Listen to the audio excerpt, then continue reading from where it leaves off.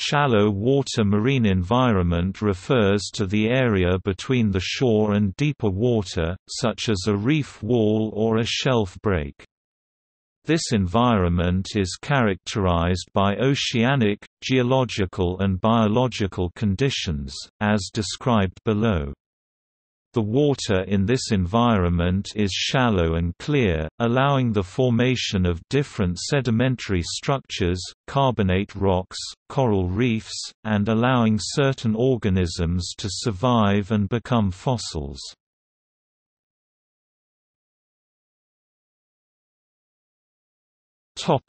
Sediment The sediment itself is often composed of limestone, which forms readily in shallow, warm calm waters. The shallow marine environments are not exclusively composed of siliciclastic or carbonaceous sediments. While they cannot always coexist, it is possible to have a shallow marine environment composed solely of carbonaceous sediment or one that is composed completely of siliciclastic sediment. Shallow water marine sediment is made up of larger grain sizes, because smaller grains have been washed out to deeper water. Within sedimentary rocks composed of carbonaceous sediment, there may also be evaporite minerals. The most common evaporite minerals found within modern and ancient deposits are gypsum, anhydrite, and halite. They can occur as crystalline layers, isolated crystals, or clusters of crystals. In terms of geologic time, it is said that most Phanerozoic sedimentary rock was deposited in shallow marine environments, as about 75% of the sedimentary carapace is made up of shallow marine sediments, it is then assumed that Precambrian sedimentary rocks were too, deposited in shallow marine waters, unless it is specifically identified otherwise. This trend is seen in the North American and Caribbean region. Also, as a result of supercontinent breakup and other shifting tectonic plate processes, shallow marine sediment displays large variations in terms of quantity in the geologic time.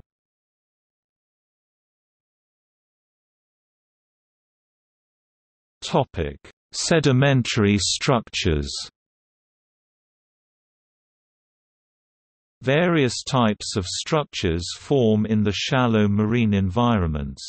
For example, graded bedding, which occurs when beds have vertical gradation in grain size, with the smallest grains at the top. Also, ripples, which are the smallest bedform type, and dunes, which are similar to ripples except are larger. Carbonaceous sedimentary rocks with several kinds of sedimentary structures within them can be found in shallow marine environments. They are a group of rocks that have a significant amount of non-skeletal matter along with siliciclastic or chemical constituents. Some examples include Cross-stratification is a layering structure found in gravel, sand, and coarse silt-sized sediment. The strata are distinct layers of sediment that are steeply inclined to the underlying surfaces of the deposit. Desiccation cracks are cracks formed due to drying out of newly deposited mud. These form in sub-aerial climates. Syneresis cracks are cracks in mud formed by mechanisms other than sub aerial climate exposure.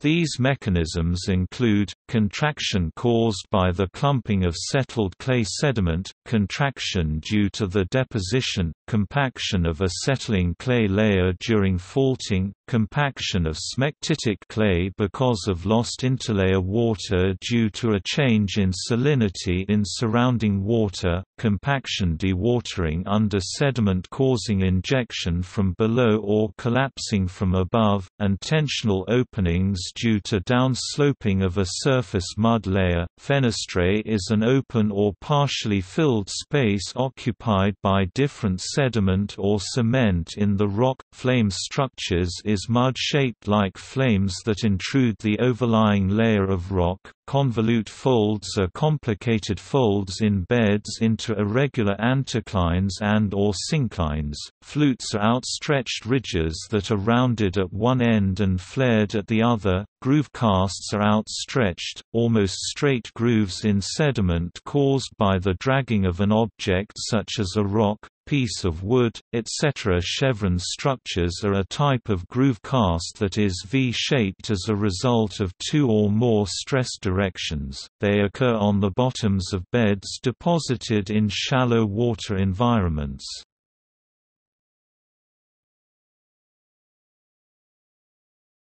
Topic: Water composition. The water in this environment is mostly clear and shallow. It is said that if shallow marine environments can be defined by the distributional patterns of marine organisms in terms of temperature, then deductions can be made from that of the past patterns in terms of Paleolithic zones. Today, there are three major defining criteria used in defining shallow marine environments, these are, the faunal provinces, the faunal elements, and the degree of latitude. However, the limits of different present-day shallow marine environments in terms of climatic zones are seldom agreed on. Also, many shallow marine environments are oftentimes associated with carbonate factory zones. In these zones, processes that remove the carbon dioxide from water to cause the bicarbonate ions to change into carbonate ions are important and support lime precipitation. Increasing temperature, intense evaporation, and mixing water that is high in carbon trioxide and low in calcium cations with seawater are some examples of processes that change bicarbonate ions to carbonate ions. Carbon dioxide is removed from the atmosphere by being dissolved in water and is turned into carbonic acid. The carbonic acid then weathers rocks, creating bicarbonate and other ions. Then the calcium carbonate is a precipitate from calcium and the bicarbonate ions that formed through organisms like coral, and then the carbon is stored in layers of limestone on the seafloor. In terms of geologic time, the composition of limestone has changed from calcite-rich limestone to aragonite-rich limestone. The presence of magnesium ions at certain concentrations inhibits the ability to precipitate calcite. Aragonite, however, has the same chemical formula as calcite but it is in a different crystal system that is much less prone to the magnesium preventing the precipitation of this mineral, which would prevent it from forming carbonate rocks.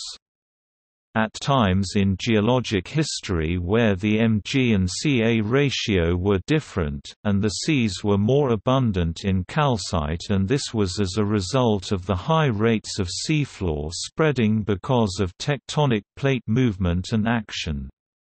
The more spreading, the more the magnesium gets removed, so more calcite is precipitated, and calcite will be more abundant than aragonite.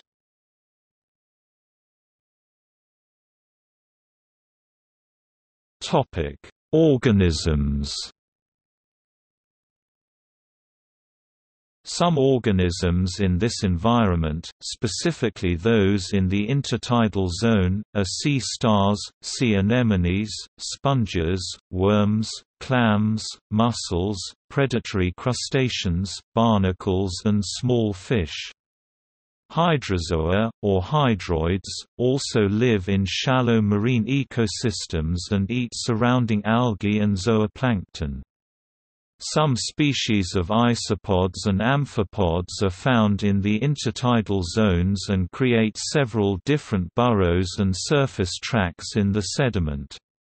Brittle stars have been seen buried in sediment with their arms showing through the sediment. This behavior has been noted in several shallow marine areas, as well. Carbonate reefs can be found in the depositional environment that is shallow marine areas, they are host to reefs and organisms that reside in reefs.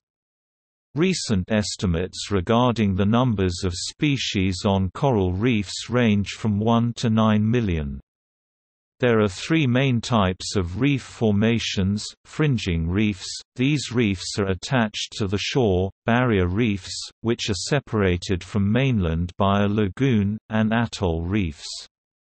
Organisms that live in this environment include red algae, green algae, bivalves and echinoderms. Many of these organisms contribute to the formation of reefs. Also, unicellular dinoflagellates live in the tissues of corals, and have a mutualistic relationship in which the dinoflagellates provide the corals with organic molecules.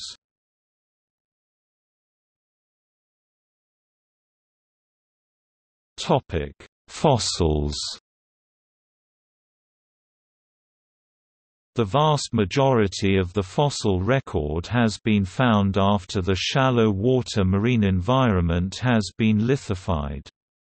Many of these fossils were deposited at times when much of Earth was covered with shallow seas, supporting a wide variety of organisms. Several fossils can be found, formed in this environment. Some examples include Skolithos ichnofacies are trace fossils that are vertical, cylindrical or U-shaped burrows created by organisms for protection. Glossifungites ichnofacies are trace fossils that are vertical, cylindrical, U or tear-shaped borings or burrows created by organisms like shrimp, crabs, worms and bivalves. Stromatolites are fossils that are laminated sedimentary structures that form when cyanobacteria form microbial mats which then trap clay and or silt sediment and organic materials to form the fossil.